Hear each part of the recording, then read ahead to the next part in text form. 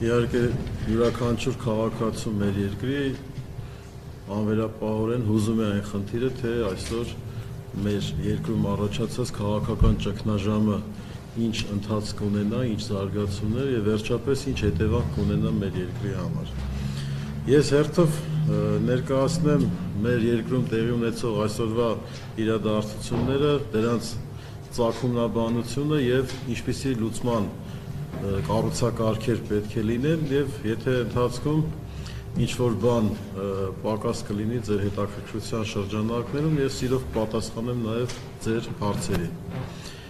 Առաջին խնդիրը կա արդյոք ճգնաժամ թե ոչ։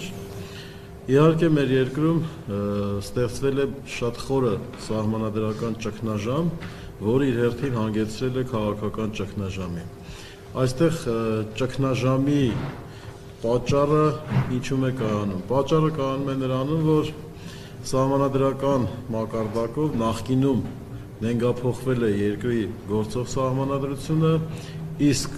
այսօրվա գործող իշխանությունների գործառնավորման մակարդակում նկատվում է սեփական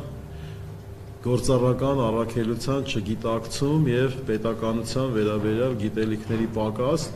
ինչի արդյունքում ճգնաժամը ավելի է խորանում։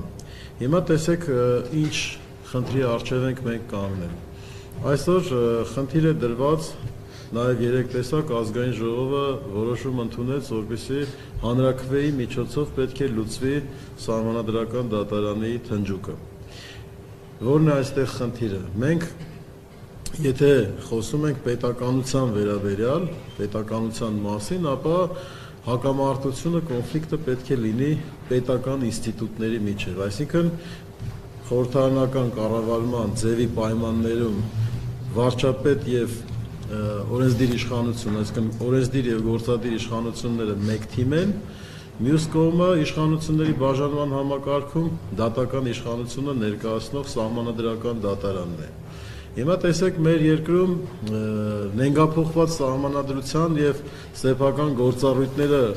չտիրապետող իշխանության հակամարտությունը ինստիտուցիոնալ մակարդակից հակամարտության լուծման եղանակների կտրվածքով վերածվում է արդեն միջանձնային հակամարտության եւ բնականաբար միջանձնային հակամարտությունները որևէ դրական արդյունք կամ հետևանք չեն կարող տալ պետության համար։ Ես օրինակը բերեմ պետությունը որպես երկիր մոլորակի վրա գործող օրինաչափ երևույթ կարելի է համեմատել ընտանիքի կամ գերդաստանի հետ։ Տեսեք, եթե կա ընտանիք, կա գերդաստան, որտեղ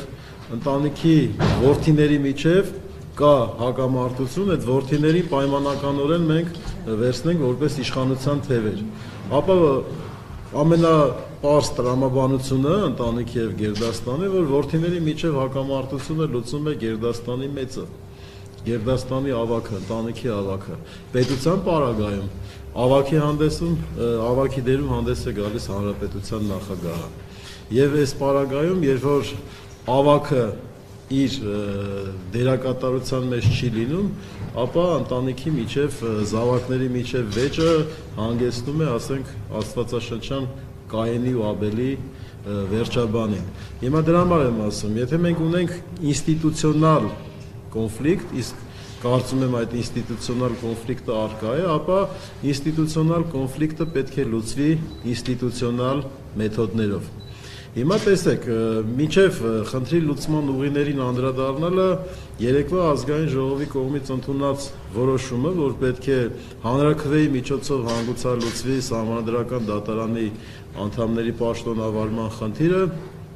Նախ առաջին հայացքի առաջին խնդիրը այն է, որ ընթացակարգային եւ սահմանադրականության պահանջների առումով միանշանակ այդ ազգային ժողովի կողմից կայացված այդ որոշումը հակասահմանադրական է։ Ես բացարձակապես խնդիր չունեմ խորանալու, որ քաղաքական գործիչը ինչ ասեց եւ այլը, որպեսզի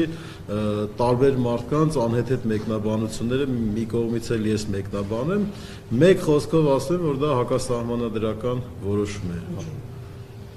Ինչով հետեւյալով որ Ազգային ժողովի կանոնակարգ սահմանադրական օրենքը հստակ սահմանում է այդ ընթացակարգը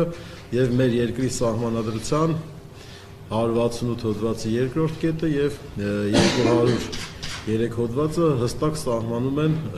այդ խնդիրների լուծումը։ Համաձայն որի կրկնվեմ ասեմ, ազգային ժողովը սահմանադրության մեջ այն փոփոխությունները, որոնք կատարվում են միայն ազգային ժողովի կողմից, փոփոխություն կատարելու համար նա պետք է առաջին ընթերցման ընդունելուց հետո ուղարկի սահմանադրական դատարան, սահմանադրական դատարանը դրական որոշում կայացնելուց հետո ետ է ուղարկում, որտեղ երկրորդ ընթերցումից հետո պետք է ուղարկվեն նախագահին, որովհետեւ ստորագրի եւ ուժի մեջ մտնի։ Եթե երկրորդ ընթերցմամբ 2/3 ձայներ չի հավաքում ազգային ժողովը, ապա ընդհանուր թվի 3/5-ով արդեն որոշում են կայացնում նախագիծը դնելու հանրակրվեին։